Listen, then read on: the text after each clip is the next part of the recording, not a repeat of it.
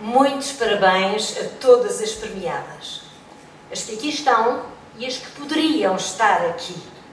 Tenho muito, muito orgulho nas mulheres do meu país. Afinal, nós precisamos sempre muito, muito uns dos outros. Muito obrigada. Vamos finalmente subir a cortina e desvendar quem é a grande vencedora do Prémio Mulher Ativa 2008.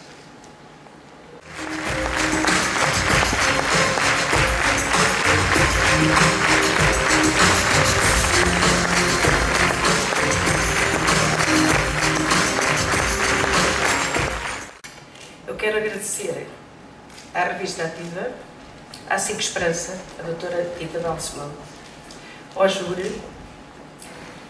Este prémio é também para as nove nomeadas, porque qualquer uma delas merecia ganhar. E para as mulheres do meu país.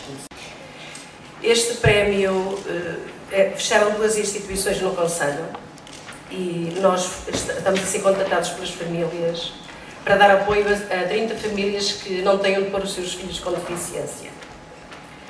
Não tínhamos espaço e eu recorri à Câmara de Cascais e o Sr. Presidente da Câmara. Começamos em maio a fazer o projeto e temos 580 metros quadrados de construção concluídos.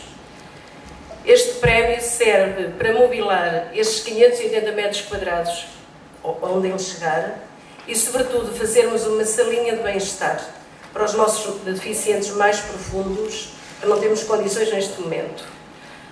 Este prémio é a cereja em cima do bolo. Temos a obra feita, mas não tínhamos nada para pôr lá dentro. Portanto, eu agradeço a toda a gente, um, à equipa que trabalha comigo desde a primeira hora. Sem eles eu não fazia nada.